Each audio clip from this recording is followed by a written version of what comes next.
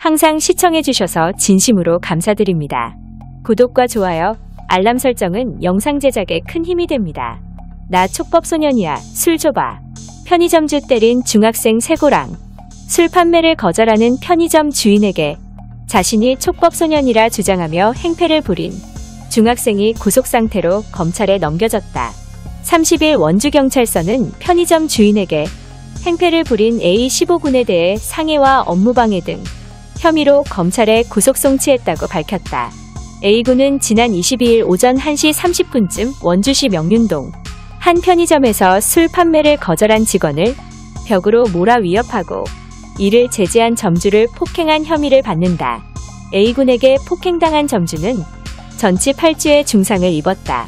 특히 A군은 난동을 부린 다음 날 편의점에 들이닥쳐 폐쇄회로 CCTV 영상 삭제를 요구하며 행패를 부리고 점원의 휴대전화를 빼앗아 자신의 SNS에 파손된 점원의 휴대전화 사진을 자랑삼아 올린 것으로 알려졌다. 경찰은 A군이 만 10세 이상 14세 미만에 해당하는 촉법소년에 해당하지 않는다고 말했다. 시청자분들의 의견을 남겨주세요. 감사합니다.